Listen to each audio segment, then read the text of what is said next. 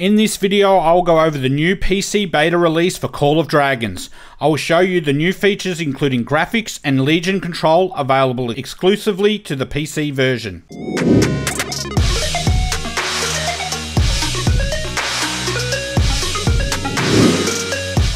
G'day Dragon Tamers, Immortal here. Farlight Games has released the Call of Dragons PC beta test. Uh, this enables you to experience the Call of Dragons PC client before the release of the game. You can access that by the link I've put it in the description. Otherwise, you can actually go over to the Discord and into the announcements, and the link is there.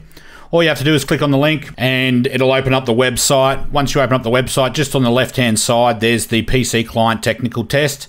All you do is press download now. I've already downloaded it, but once it's downloaded, all you do is click on the launcher to set it up.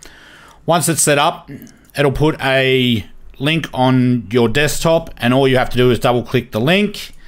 And once it's finished loading and installing, you just start and off you go. She'll start loading up. One thing to keep in mind though is that before you use an account on your PC, you must already have an account created on a device or emulator. Now that it's loaded up, I'll just quickly go over some of the features. Firstly, the thing that I really do like is the fact that you get uh, some extra customization over your graphics. So you can select a preset from very low, low, middle, high, or very high. My PC is recommended at very high. I do have a fairly decent gaming PC.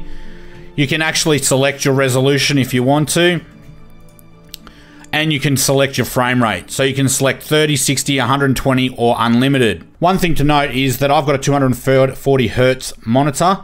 So when I activate VSync, it will actually, it won't limit the frame rate to 120. It'll limit it to what my PC and my monitor can handle, which is 240 hertz, so which could handle 240 frames. So if you want to actually limit it to 120, you have to turn VSync off, which I have done. Now, the only reason that I've limited it as 120, for one, I'm using my PC and I'm recording at the same time on the same PC, so it's just to save a little bit in resources. And these types of games, you really don't need to be running them at 240 frames per second or anything like that. If you're playing like a first person shooter, then you would certainly need you know, have a, frame rate as high as possible. But for these type of games, you, you, you don't need it. It's not required to be that fast of a reaction time. You can actually go in and change uh, your render quality, your anti-aliasing, and your shadow quality. The From the very high setting, all I changed was I changed my frame rate to 120, turned off VSync, changed anti-aliasing to X8, and that's it. I also changed my resolution to 2560 by 1440 because that's what my monitor is. Now I'll go over to controls. You can see here that uh, it gives you a bit of an outline of what you what each control does. Uh, and just down the bottom here, you can actually enable screen edge movement. So if you put your cursor on the edge of the screen, it will move left, right, up, down, whichever way you're going. I don't actually like screen edge movement, so I just disable it. Now this is where you get a little bit of an advantage on the PC version. You actually have a whole bunch of different shortcuts. Now each one of these can be remapped. So if you don't want your chat as enter, you can change it to something else like tab, for example. I like mine as enter anyway because it's pretty much the same as most of the other games that you play on PC. You press enter to start the chat. Where this gets a little bit more detailed though is if you go right down to your Legion control, there's a couple of extra things that you can do on PC that you can't do on mobile device or an emulator. For example, being able to create Legion groups and you can do that. And I'm going to demonstrate all of this for you. So I'm going to show you exactly how this is done and and the benefits of that. I'll do that once I've finished going through this. So you can select uh, set a selected legion as group one so you can just create different groups just with the short key shortcuts and then if you've got one legion in there, if you wanted to add another legion in there, you can just press shift one instead of control one or from one to five. And then it's just as simple as selecting one, two, three, four, or five to select the respective legion that you, the legion group.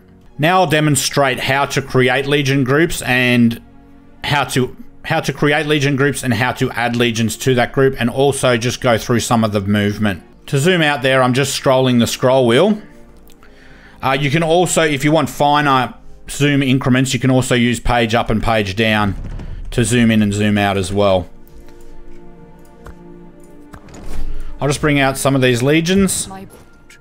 Okay, so to select a legion, you can just press the corresponding shortcut of F1 through to F5. You can see them on the side, which legion is what. F1, F2, F3. So if you press F1 here, it'll select Lilia.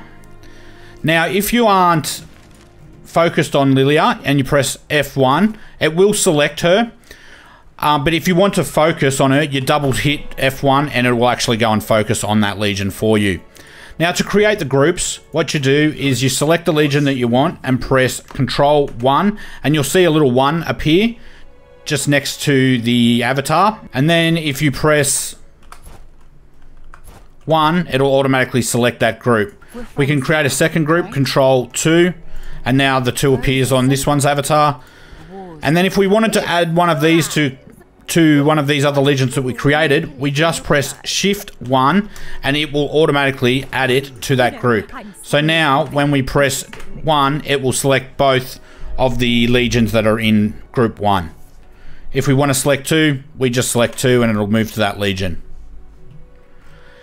This would be especially helpful in war, especially when you're doing multiple things.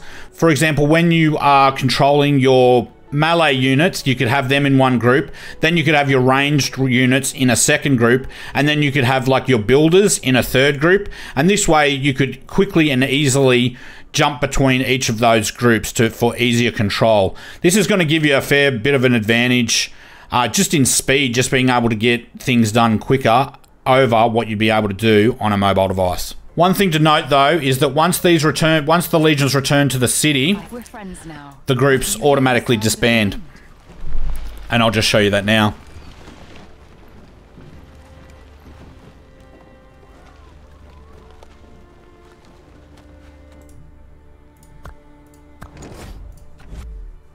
And here we go, I'll just select them and pull them back out. And you see that all of the numbers have disappeared off them.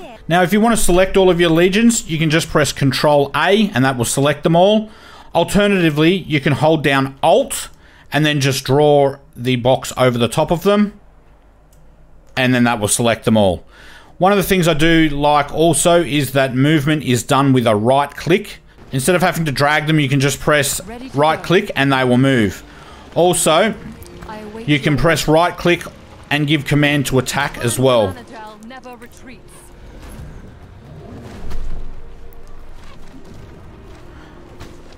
Activating the artifacts you can do with QWERTY, depending which shortcut is corresponding to the artifact.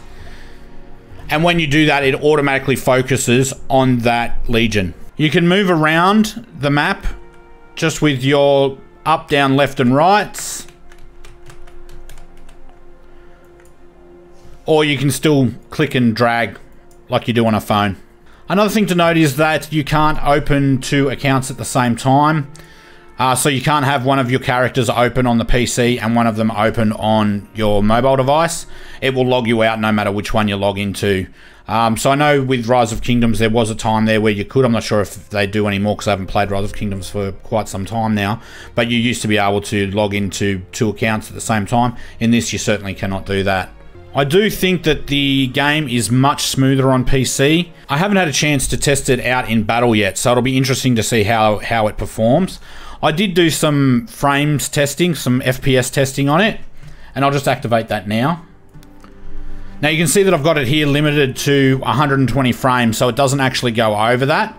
But if you go and change some of your settings and change the and turn VSync on, even though you've got it limited, you'll see it instantly pop straight up to 240 frames, which is the maximum my monitor can handle.